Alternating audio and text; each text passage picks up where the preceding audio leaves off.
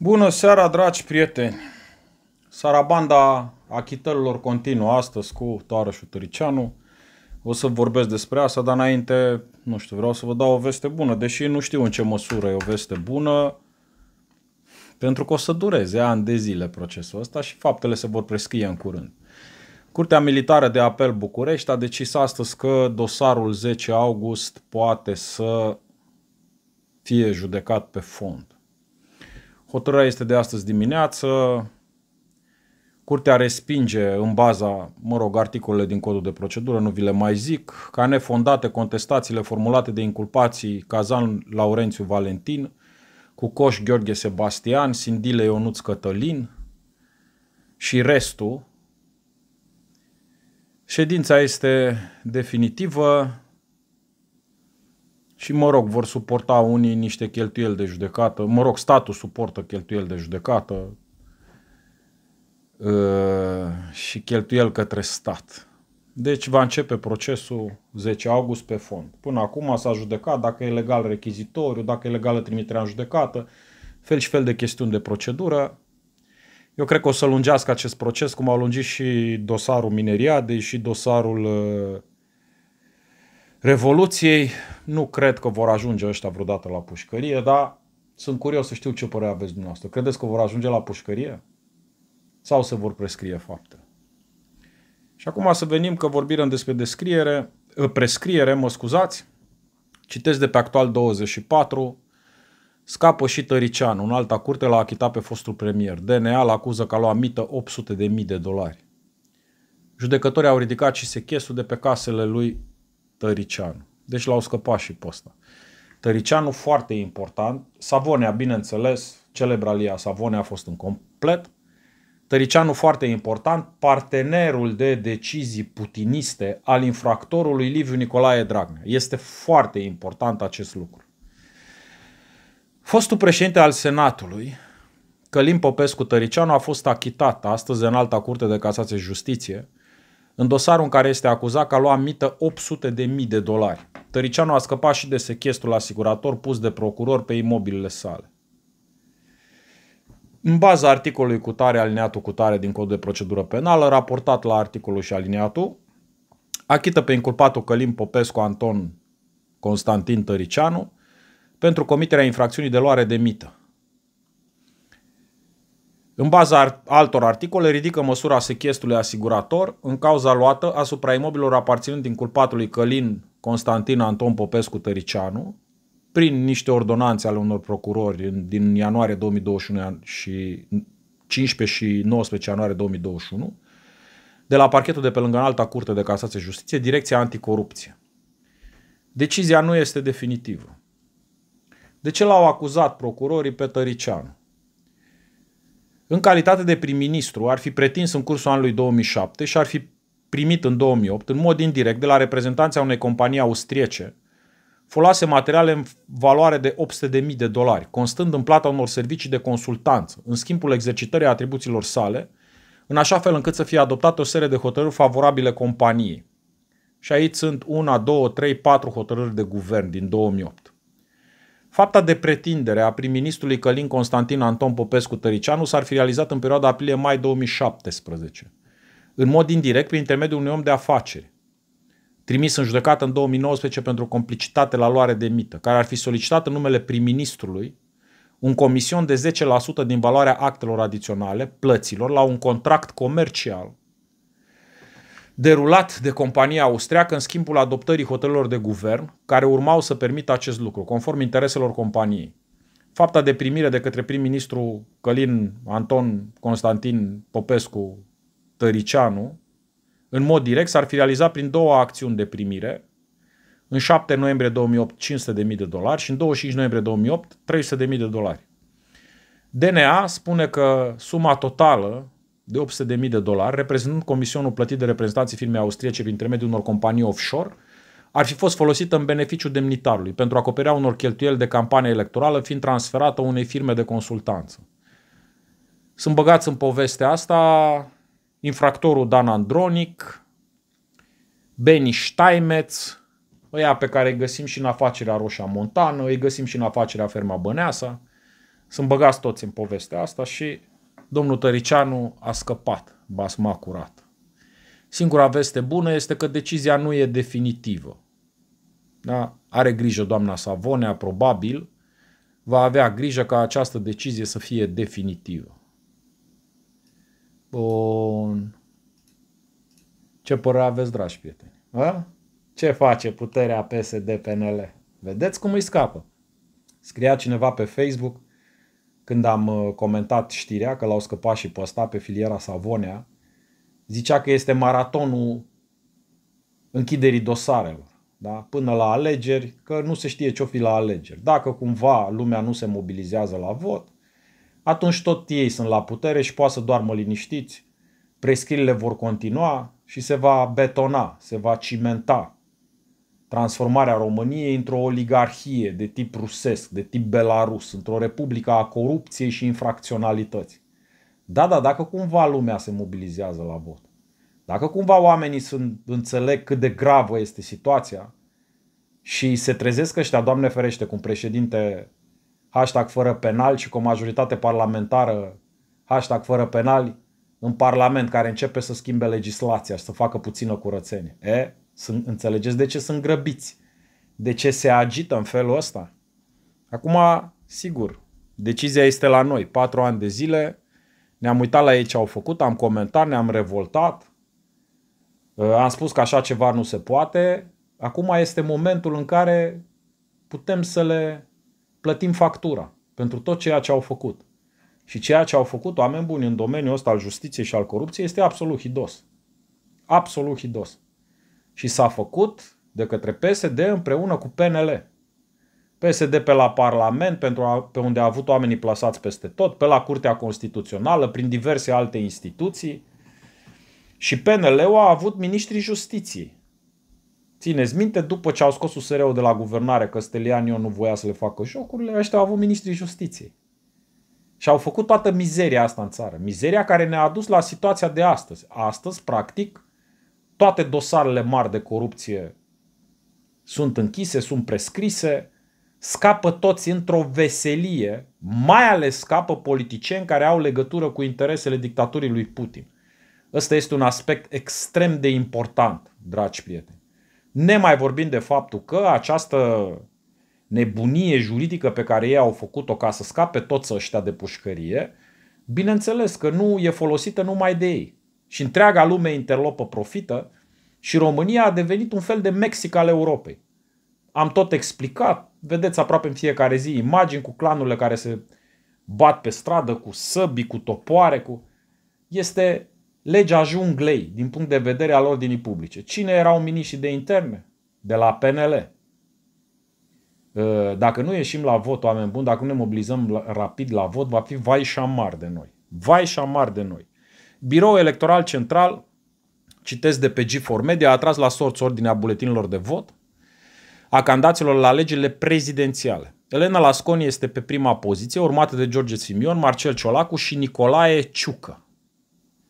Sunt mai mulți candidați, în total, dragi prieteni, 14 candidați, Elena Valerica Lasconi, prima poziție, George Simion, a doua poziție, Ioan Marcel Ciolacu, poziția 3, Nicolae Ciucă, poziția 4, Kelemen Hunor de la UDMR, poziția 5, Mircea Joană, poziția 6, bidonul electoral Ana Birceal, poziția 7, Beizadeaua infractorului Maricel Păcuraru, Alexandra Beatriz Bertalan Păcuraru, poziția 8, Sebastian Constantin Popescu, habar n-am cine e ăsta, Cum au strâns oamenii ăștia semnături? Cum a strâns Birceal? Cum a strâns Păcuraru asta? Cum a strâns Sebastian Constantin Popescu? Cum au strâns ăștia semnături? Chiar nimeni din instituțiile statului nu e interesat de această fraudă incredibilă la vârf în alegerile prezidențiale, oameni buni. Este incredibil. Poziția 10, Ludovic Orban. Pe poziția 11, altul, despre care nu știm cum a strâns semnăturile. Uh, alt putinist, Călin Georgescu, clona lui Putin și cel care organiza vizitele ideologului lui Putin, Alexander Dugin, în România unde mergea toarășul Adrian Năstase și înalți prelați ai Bisericii Ortodoxe. Cristian Diaconescu, fost ministru al justiției, pe poziția 12, Terheș, șoșoacă în fustă, da?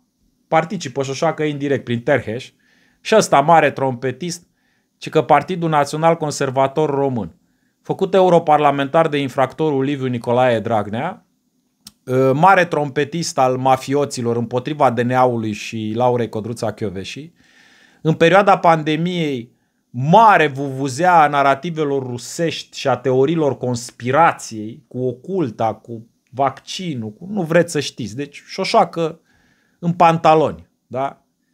Ăsta e și el candidat. Cum o fi strâns ăștia semnăturile, Dumnezeu știe. Și ultima poziție, 14, Patridul Liga Acțiuni Naționale, securistul Silvian Predoiu. Fost șef al Serviciului de Informații Externe, omul care a construit partidul pro-România lui Victor Ponta, omul sub mandatul căruia Victor Ponta mergea să se întâlnească cu Putin la Sochi și la Baku.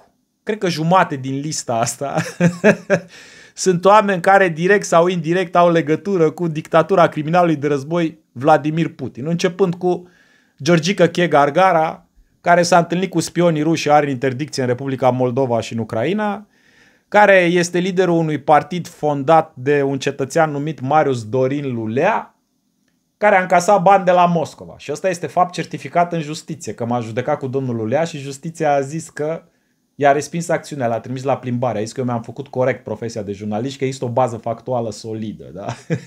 Pentru aia care mai încerc dovezi. Mai sunt hăbăuci care zic, domne, când vorbești de aur, ce dovezi ai? Păi toate dovezile pe care le-am dus în instanță și instanțele mi-au dat dreptate. Da? Da, mă rog, ei săraci, oricâte dovezi ar primi și dacă vine Iisus Hristos în fața lor și au o epifanie, ei tot nu o să creadă, o să zică că Soros l-a trimis. Da? Cam ăștia sunt candidații, dragi prieteni, o să mai revin eu în viitor cu uh,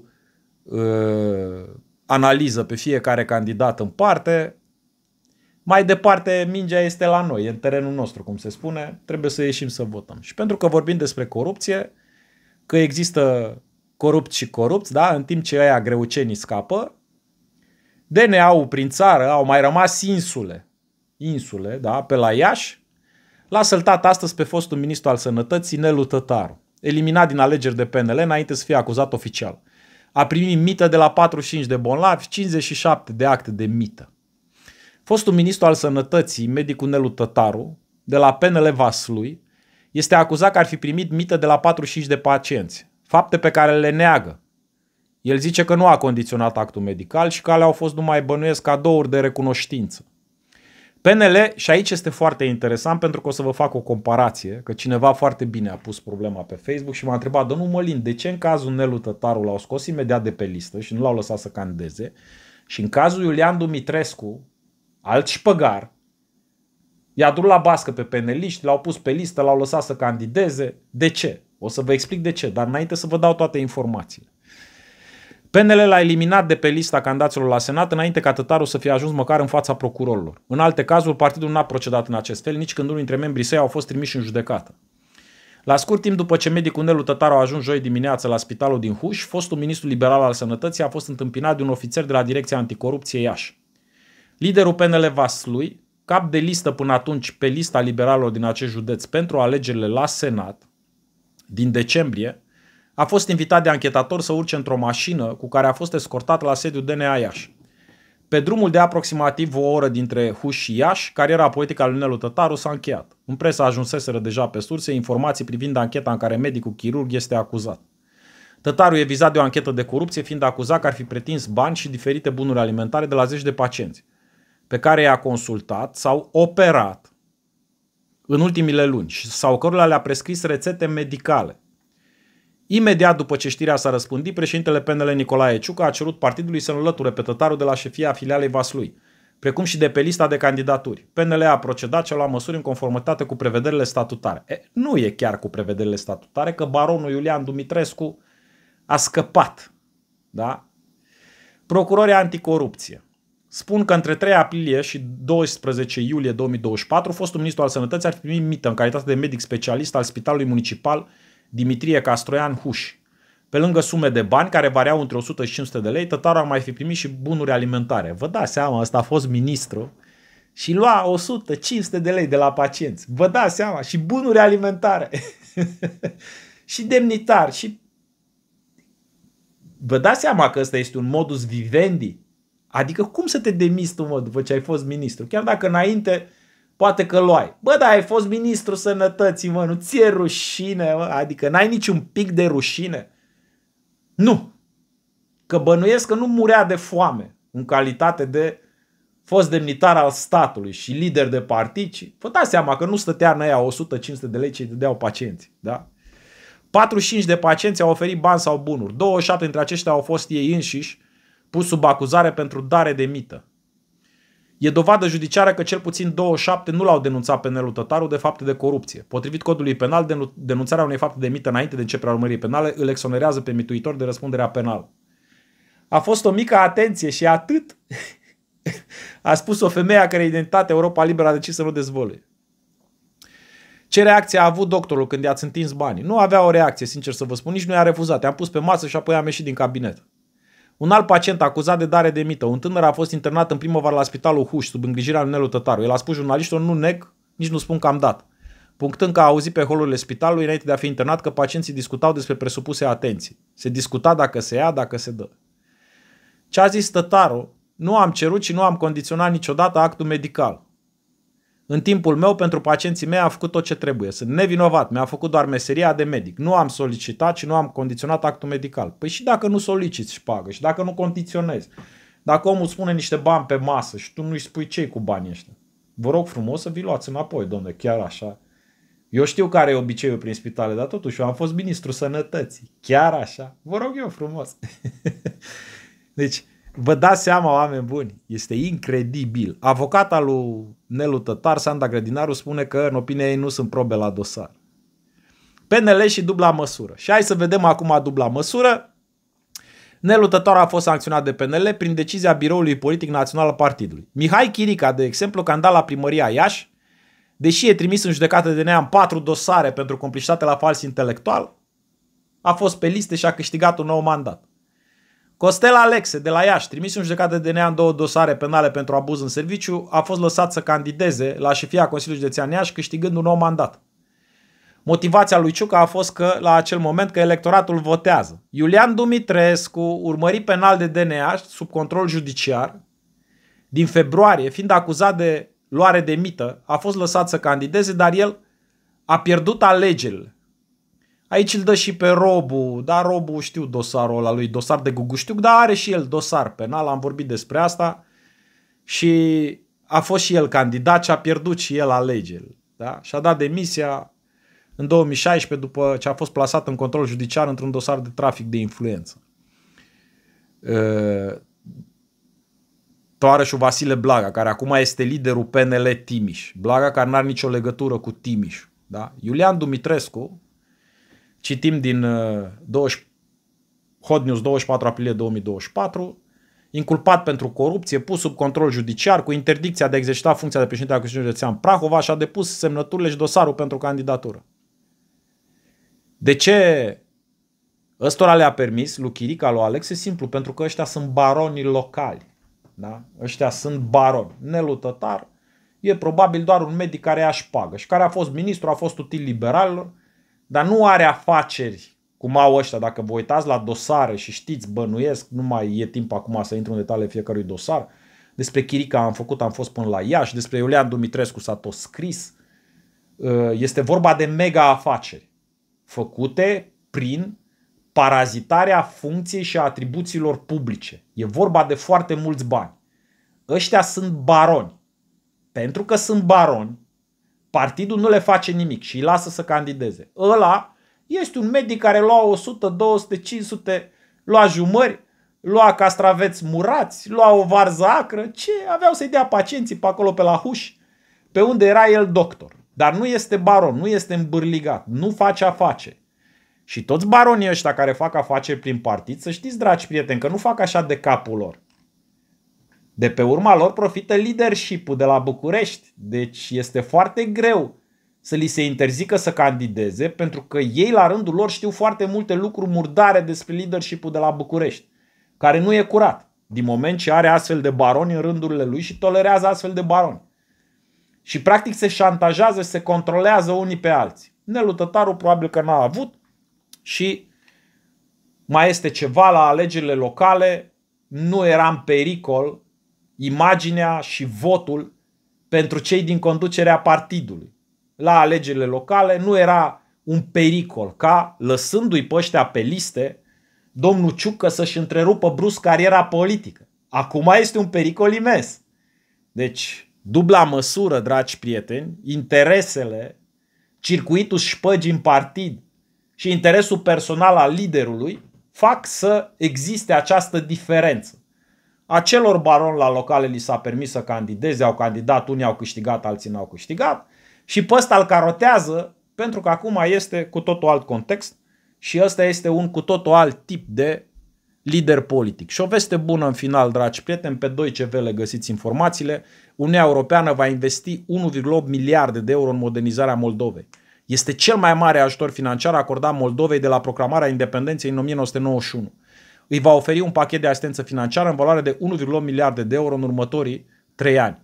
Banii vor fi construiți pentru drumuri, poduri, spitale, căi ferate, sprijin financiar pentru afaceri, atragerea investițiilor, finalizarea și demararea unor noi linii electrice, precum și alte proiecte majore. Acum să vedem în 20 octombrie, peste 10 zile, votează toți cetățenii, frații noștri, cetățenii ai Republicii Moldova, uh, votează și să vedem dacă se va menține parcursul european al Republicii Moldova sau dacă toată propaganda aia imensă rusofilă și tăvălugul dezinformării, minciunilor, uh, teoriilor conspirației, tot ce vine de la Moscova și la noi trompetele sunt cele pe care le-am menționat, Cioșoacă, George Simion, Terheș, asta ca să mă refer la candidații din alegerile prezidențiale. Mai sunt și candidații chiar mai importanți, cum e Toarășul Joană, care are legături cu Moscova.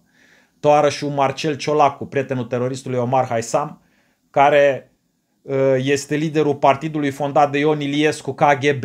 Ăștia nu rostogolesc teoriile conspirației, ăștia zic bine cu Europa, cu NATO, cu nu știu ce, dar au atât de multe legături cu Moscova, încât pot fi cu ușurință plasați tot pe lista politicienilor a serviți intereselor dictaturii lui Putin. Nemai vorbind că în cazul Toarășului Ciolacu, lider al Partidului Social Democrat, Toarășul Ciolacu, PSD împreună cu PNL au albit toate dosarele marilor corupți, cei mai mulți dintre ei legați de oligarhia care are interese comune cu interesele dictaturii lui Putin. Dacă locuiți în Republica Moldova, dacă veți vota, vă rog foarte mult să-mi scrieți în comentarii cum veți vota. Nu uitați restul uh, lumii, uh, uh, pe restul urmăritorilor, vă rog foarte frumos să-mi scrieți ce părere aveți. Va fi cineva condamnat în dosarul 10 august? Semper Fidelis ne vedem mâine.